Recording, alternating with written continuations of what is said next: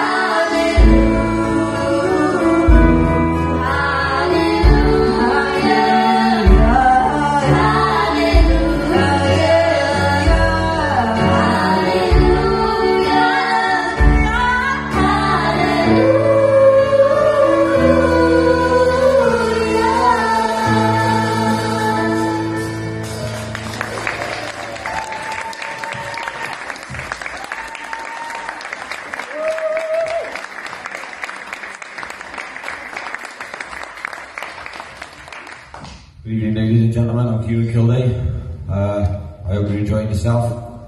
Uh, next song we got is Merry Christmas Everyone by Shakin' Stevens. Uh, obviously, a rendition of uh, the Nutcrackers.